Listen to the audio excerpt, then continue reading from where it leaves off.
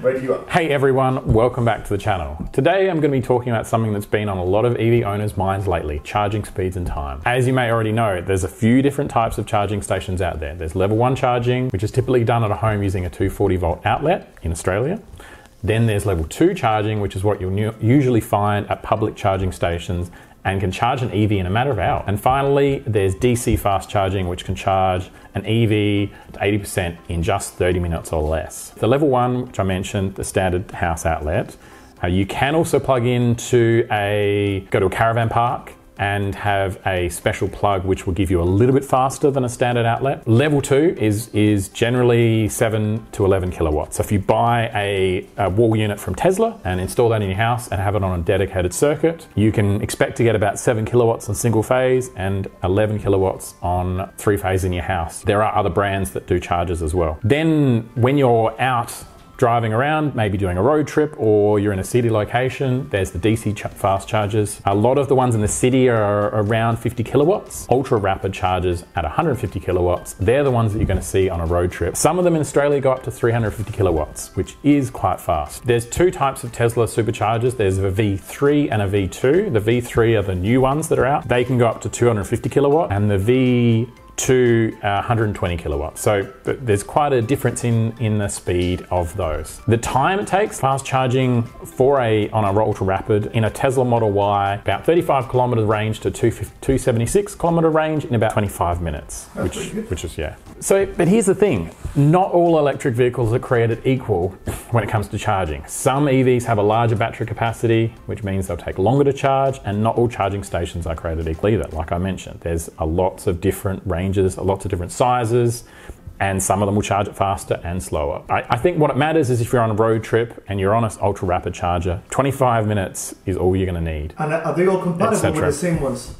All the chargers. Ta- yes. Yeah, they're not all compatible with the same chargers. So the Tesla supercharger network in Australia right now is uh, Tesla only. In uh, Europe, there are some Tesla stations which you can use with other EVs. The major networks in Australia are ChargeFox, which you can charge all EVs with, including Teslas. And there are other uh, Jolt, which is mostly based in city locations, as well as a, a lot of other charging networks as well. So what does this mean for you as an EV owner? It means you need to plan your trip accordingly. But if you're looking to buy an EV, make sure that battery capacity and the charging speeds of your car really align with your needs. So those that are planning in Australia, say a trip, you want a car that can do the distances between the superchargers. But if you're just city driving and you're, you're happy to stay in your city and you're, you're commuting to work each day, you might be able to get away with a cheaper EV with a smaller battery capacity. So I guess the other thing when it comes to charging is cost.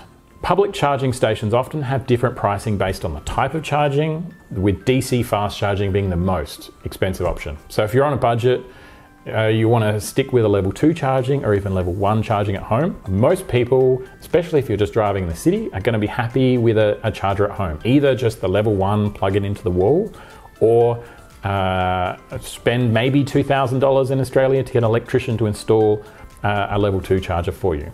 So some of the pricing for the Jolt chargers in Australia, uh, they offer a subscription right now where you get seven kilowatts of charging for free. And then after that, each kilowatt costs you 45 cents.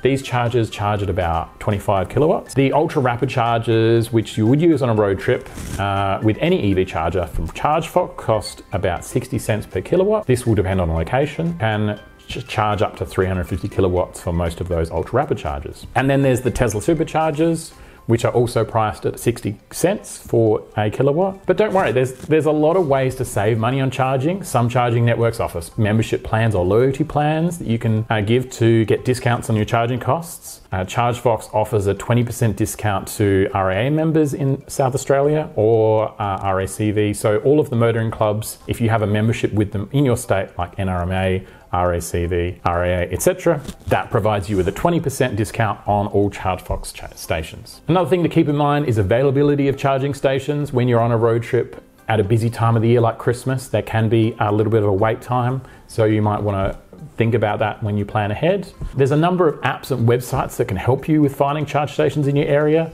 and even show their availability and pricing. And I can definitely go through that in another video. All in all, EV charging is definitely something to consider when it comes to owning an electric vehicle But a little bit of planning and a bit of research, you can make sure you're always able to charge up and hit the road. Thanks for watching, and I'll see you on the next video. Subscribe!